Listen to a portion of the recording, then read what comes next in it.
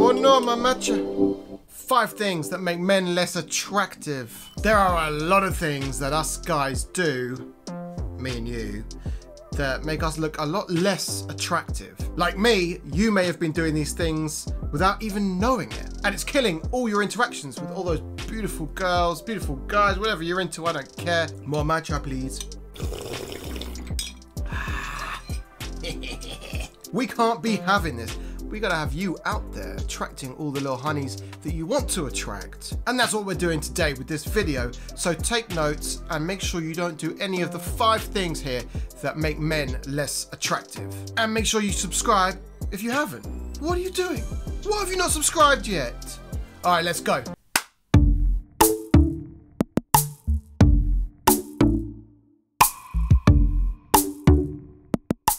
This took me a while to kind of understand. I was going through relationship to relationship, just coasting really in life as well, and thinking, you know, I'll do this job, I'll do that job, never really knowing what I wanted, never really having any passion about really wanting to achieve anything.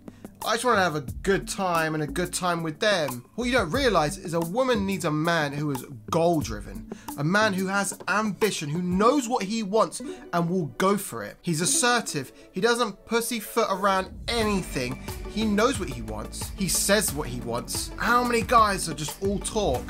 and no oomph. I was definitely like that, and maybe you are too. Not having any real goals in my life, not really having anything to strive for. A guy who has a purpose and can think about the future shows to her that he is thinking about a bigger picture. And hopefully, they will be part of that picture with you. They want a guy to go up to them, be polite, courteous, but tell them exactly what he thinks of them, what he likes about them, and what he plans to do with them. That is damn sexy. And don't worry about getting rejected. You will get rejected every now and then, but it's not the end of the world. Nothing really happens. So what? None of this coy behaviour, hoping to catch her eyes from a long distance and imagining, praying, oh, I really hope she comes over to me. No. And stay assertive, even in the relationship. Tell her exactly what you want to do. Not, hey, honey, what do you want for dinner? Hey, honey, what do you want to do? Hey, honey, what do you want to do this weekend? No. Make some plans, take her out. If she doesn't like it, she'll tell you. So then you make up another plan. Always be assertive. Work out what you want from your life. Go for it. Be ambitious. Share your ambition. And don't just be talk, do it.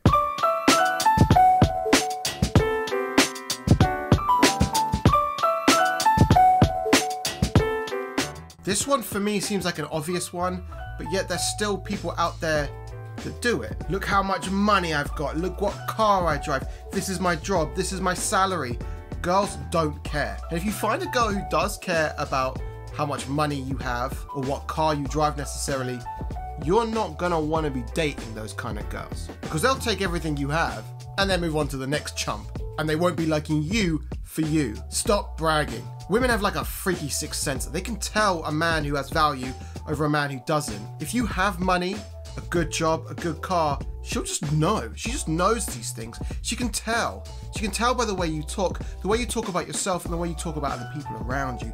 You don't need to be bragging about these things for them to know. And the moment you do, she's gone. If you're enjoying this video so far, do me a solid and give me one of these bad boys. And uh, if you're not subscribed, then what are you still doing? Subscribe.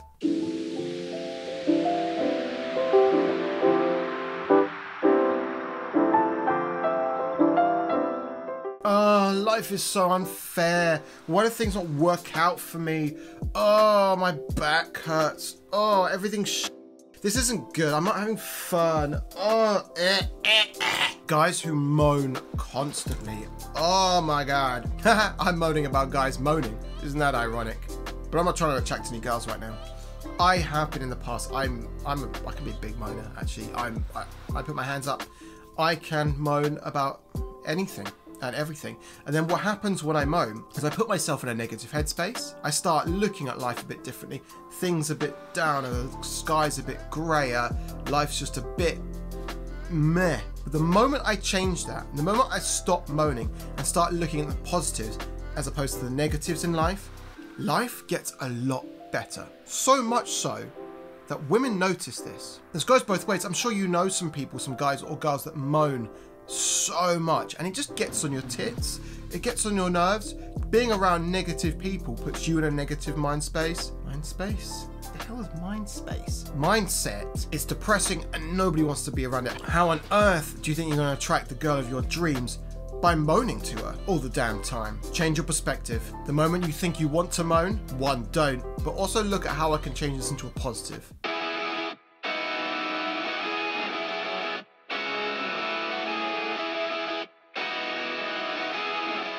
The ego is important for us because it helps us with our purpose and it makes us realize what we want and need and helps us strive towards it. So, in that retrospect, ego is good. But what we use ego too much for is protecting us. This is something I was always bad at uh, when I was a bit younger and in young relationships. There would be like a, a little disagreement or a little argument over something, and maybe it was my fault, or let's say it was my fault, and my ego wouldn't let me admit that and I would make the argument worse. It's like I was so scared that they would look at me in a certain way because I said something wrong or did something wrong that my ego wouldn't allow it, and then I became argumentative.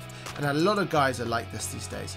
We need to let the ego down when we don't need it. Use it when you're striving for something important in your life, but when it comes to self improvement and looking inwardly at ourselves, we need to let go of the ego. A guy who cannot ever admit that he's wrong in an argument, and a guy whose ego won't let them be vulnerable with a woman they like is never going to get anywhere with that woman. Women need you to be vulnerable.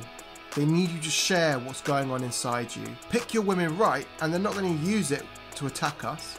They're not going to use it against us. Being vulnerable is one of the sexiest things a man can do. It's him laying everything out.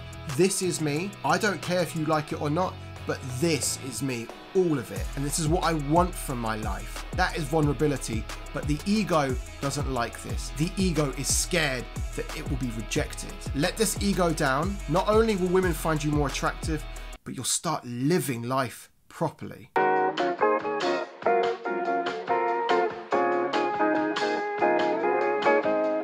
These don't ever, ever wear these jeans.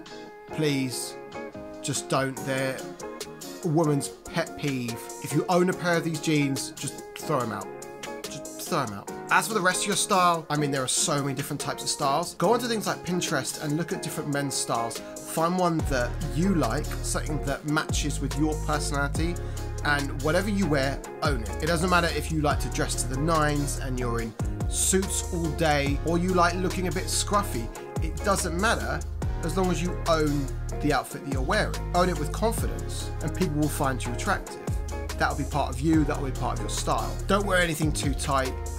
Don't wear these jeans. Don't wear these shoes or this belt. Oh my god, this outfit is like a woman repellent. And you don't need a lot of money for decent outfits. Just a couple of pairs of jeans, a couple of t-shirts, a couple of shirts. Make sure that you can interchange and match them and you've got yourself a week's load of outfits. There are also loads of great fashion YouTubers out there, so check them out. Find one that works with you. Don't be looking like your mum's just taking you to the Gap and dressed you up in how she wants you to look. Find your own style and own it. It's always a good idea to have just like one item of clothing or one piece of jewelry that's a good talking piece to have when you meet that girl you want to attract. And that's it, your five things that make men less attractive. Lacking ambition and assertiveness being an arrogant bragger, moaning far too much, letting your ego get in the way, and having a terrible fashion sense. Make sure you're not doing these five things and implement the advice that I've given you in this video.